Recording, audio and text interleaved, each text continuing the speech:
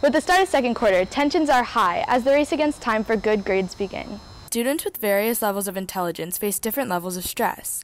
With the race to exempt midterms, some students are worried while others are a little more comfortable. I think it, the second quarter with the timing of that is just a lot shorter, so I think that it gets more pressure on us to do well on all of our tests since there's not that many. I don't really notice a difference because we still get as much work with the time, the amount of time we have. Some students enjoy taking AP courses, and others think AP courses aren't worth the amount of work. If someone was thinking of taking an AP course, I would tell them that they should really think about if they actually want to take it and actually think that they're going to do well in it. Because if you're not going to try and you're just going to um, you're just going to go through the course trying to treat it like a normal course, you're going to you're not going to do well. I don't really feel like I need an AP class. Like I can, I'm fine in my regular classes.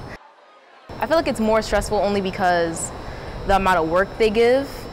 It's just different. It's just, it's just a different vibe, different feel.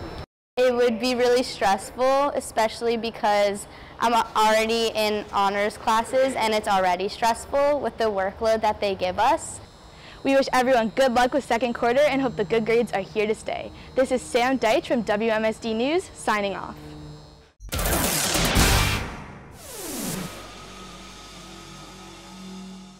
Broward Teen News was brought to you by ProSound and Video.